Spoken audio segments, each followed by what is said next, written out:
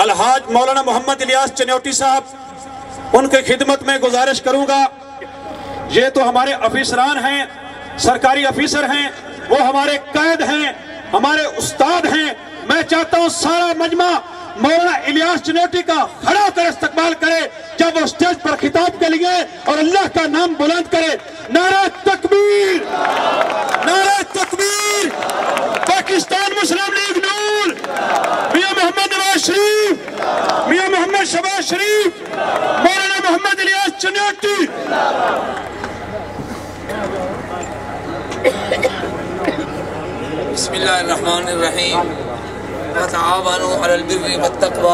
तावनु अलल इस्मि वल उद्वान सदक़ल्लाहुल अज़ीम मोहतरम जनाब साहब, मोहतरम जनाब डीपीओ साहब, मोहतरम जनाब, चौधरी मसूद इकबाल साहब।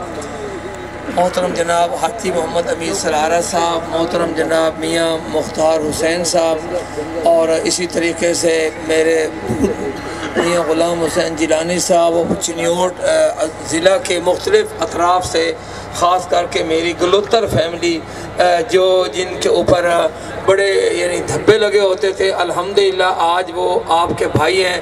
मैं सबको सलाम पेश करता हूँ। वक्त मुख्तसर है बिल्कुल। आ, मैं आयत पढ़ी है कुरान मजीद की। अल्लाह रब इज़्ज़त फरमाते हैं कि नेकी और अच्छाई के कामों में एक दूसरे का तावन किया करो। अल्लाह पाक ने मेरे ऊपर ज़िम्मेदारी डाली।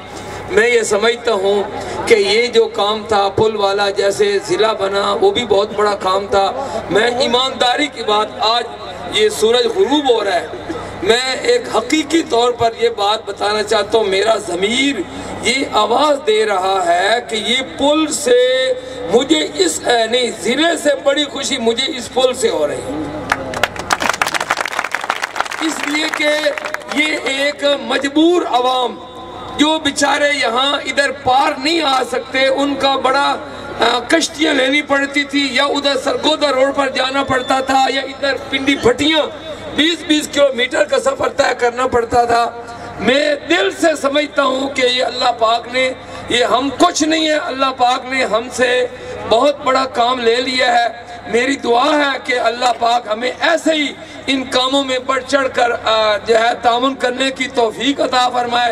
यकीनन ये पुल जो है, अब इन मोदा बुर्ज उमर, झंगड़ गलोतरा, झन्नी चौहाड़ और बुर्ज मलका लाल ऐसे ही बुर्ज ज़्यादा ये और झंडा इन तमाम इलाकों के लिए इन ये एक वाकई पुल है और एक रबता जो है उसकी ये मिसाल पेश करेगा। और इस जैसे मेरे भाई गुलाम अब्बास ने ज़िक्र किया, इस इलाका की मायाना शख्सियात मियाँ मोहम्मद शफी नेकोकारा साहब और मियाँ गुलाम मुर्तज़ा नेकोकारा, वो वाले साहब रहमतुल्लाह के साथी थे।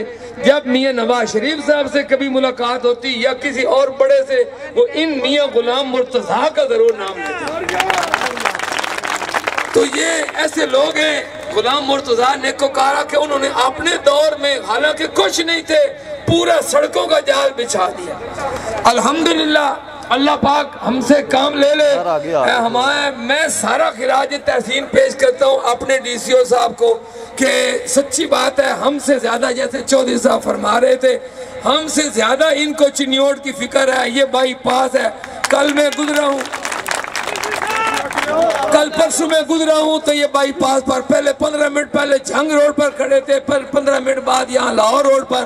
तो इनशाला हमें भी एक अच्छी टीम मिली है। इस अच्छी टीम के साथ हम इनशाला जो है इस ज़िले की तरक्की के लिए आगे से आगे बढ़ते रहेंगे। हम फिर भी आपके साथ हैं, कोशिश करते रहेंगे। उम्मीद है कि इन हमारे ये डीओ रोड मलक रियाज अहमद साहब बैठे इन्होंने बहुत अच्छे ठेकेदार जो है, वो तलाश किए जो पुलों के तामीरात के माहिर हैं। इन्होंने कहा कि इन हम दो अढ़ाई महीनों में आपका ये जो है पुल अच्छे अंदाज में मुकम्मल करवा देंगे। और इनशाला हमारे इस इलाके का सदियों का पुराना ख्वाब जो है, आज वो शर्मिंदा ताबीर होने जा रहा है। वक्त चूँकि मुख्तसर है, अब मजीद बात नहीं कर सकते। मैं अपने मुआज़ मेहमानों से कहूँगा कि वो तशरीफ़ ले आएँ ताकि उस तख्ती के निकाब कुशाई